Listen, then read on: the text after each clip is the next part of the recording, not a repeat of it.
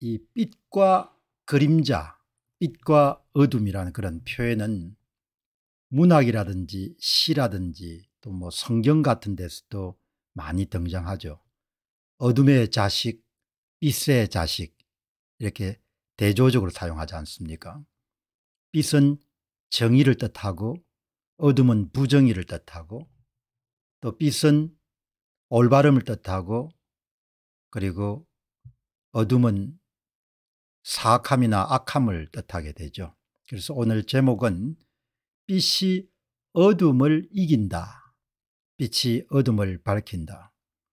저는 청년 시절부터 일찍 자고 아주 이런 시간에 일어나 가지고 그렇게 일을 하는 습관이 몸에 배어 있습니다.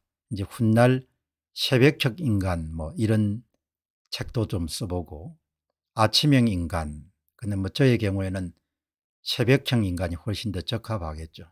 예, 그러면은 새벽에 일찍 일어나게 되면은 칠옥 같은 어둠이 주변을 다 이렇게 가득 채우지 않습니까? 그러나 시간이 지나고 나게 되면은 그 어둠이 가시고 결국 빛이 주인공으로 등장하게 되지 않습니까? 현재 대한민국의 공직선거와 관련해서 저는 삐세 쪽에 서 있는 것이죠.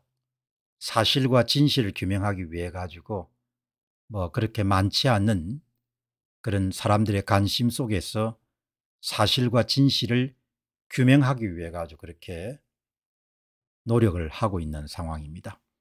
예정된 것은 아니고 어쩌면은 어떤 사람은 우연적이다 이렇게 볼 수 있고 또 다른 표현으로는 운명적이다 이렇게 표현할 수 있을 정도로 그렇게 거대한 난공불락의 요새와 같은 대한민국의 이런 그 둥지를 트고 있는 선거 부정, 예, 선거 사기 세력과 맞서 가지고 사실과 진실을 규명하기 위해서 목소리를 높이 외치고 있습니다. 그러나 저는 빛의 그런 세력에 속하기 때문에 뭐 외롭거나 두렵거나 불안하거나 염려가 되거나 이런 것은 거의 없습니다. 예. 많은 분들은 예상 외다 이렇게 보시겠지만 저는 두려워하거나 걱정하거나 불안해할 게 전혀 없습니다. 왜 그런가 하니까 저는 부정한 짓을 저지르지 않았고 악한 짓을 저지르지 않았고 사악한 짓을 저지르지 않았고 거짓말을 한 적이 없기 때문입니다. 그러나 아마도 이 방송을 숨어서 보시는 그러니까 선거 사기를 주도한 사람들이나 또 선거 사기에 깊이 관여하신 분들은 불안하고 초조하고 염려가 되고 그럴 겁니다. 예. 그러니까 아무리 대세가 어둠의 자식들이 승리한 것처럼 그렇게 보이더라도 어둠의 자식들은 악한 짓을 저질렀기 때문에 그들은 불안할 겁니다. 그리고 때로는 두렵기도 할 겁니다. 때로는 악몽도 꾸겠죠. 그러나 저는 편안하게 잠을 자고 잘 먹고 열심히 일하고 그리고 규칙적으로 그렇게 선거 사기 문제를 집중적으로 거론하고 있는 겁니다. 선거 사기에 관여한 사람들은 실질적으로 정치적 이득을 목적으로 선거 사기를 기획한 자들이 있을 것이고 그 기획한 자들의 사주를 받아가지고 하수인으로서 직접 전산 프로그램을 돌리거나 실물 위조 투표지를 투입하거나 법원의 증거보전 명령이 떨어졌을 때 지방 단위의 선거관리위원회에서 빳빳한 신권 다발 같은 투표지를 인쇄해 가지고 집어넣은 사람들이 있을 것이고 책임질 수 있는 그런 자리에서 선거 사기를 인지하고 있으면서 그것을 은폐하기 위해 가지고 마치 이번에 전 용산서 계장이 보고서를 그냥 삭제해 가지고 유명을 달리한 것처럼 그렇게 협조하고 부역하는 자들도 아마 있을 것입니다. 미래 일이기 때문에 누구도 확신할 수 없지만 저는 현재 대한민국의 공직선거와 관련된 선거 사기 부정선거와 관련된 사안을 두고 B씨의 세력과 어둠의 세력이 격렬하게 다툼을 벌리고 있다 이렇게 봅니다. 저는 전혀 두렵지 않고 염려가 되지 않고 불안해하지 않습니다. 제가 깊이 믿는 공의의 하나님과 정의의 하나님의 뜻에 따라서 내가 낳서 자란 조국을 위해서 내가 젊은 날부터 갈고 닦은 수리 분석과 정량 분석이란 것을 도구와 수단으로 해서 거대한 철옹성 같은 철벽 같은 그런 진지를 구축하고 있는 그런 부정선거 세력들에 맞서서 성, 전쟁을 지금 수행하고 있는 겁니다. 인간의 눈은 알 수가 없지만 하나님은 아실 겁니다. 누가 승리를 거둘 수 있을 것인지 저는 궁극적으로 빛이 어두움을 밝히는 것을 봤습니다. 세상에 어두움이 빛을 삼키는 경우는 없습니다. 한시적으로 어둠이 빛을 삼키는 것처럼 보일지라도 궁극적으로 새벽은 가고 해는 다시 떠오르게 됩니다. 그런 점에서 저는 앞으로도 이 사안 내가 낳서 자란 대한민국이란 조국을 위해서 선거 사기를 통해서 체제 전복을 시도했고 권력을 도둑질해서 대통령도 되고 국회의원도 되고 도지사도 되고 광역시 의회 의원도 되고 구청장도 되고 시장도 되고 군수가 된 그 사악한 자들이 무슨 짓을 저질렀는지를 대한민국 사람은 물론이고 세계에 낱낱이 고발하고 그들의 만행을 여러분들 정언할 작정입니다. 유튜브 채널이 이제 어느 정도 정리가 됐기 때문에 이제 곧바로 집필 활동을 벌려가지고 한 건, 두 건, 세 건, 네 건, 예, 역사의 사초를 기록하는 그런 마음가짐을 갖고 선거 부정 문제를 담대히 그렇게 기록으로 남길 그런 생각입니다.